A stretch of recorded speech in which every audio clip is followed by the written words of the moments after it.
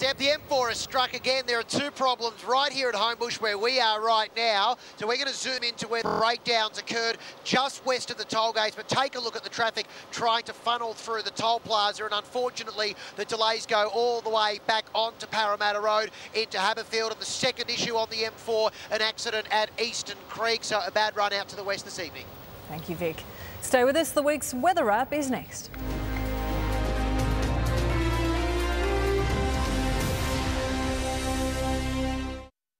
Witness the bizarre customs of this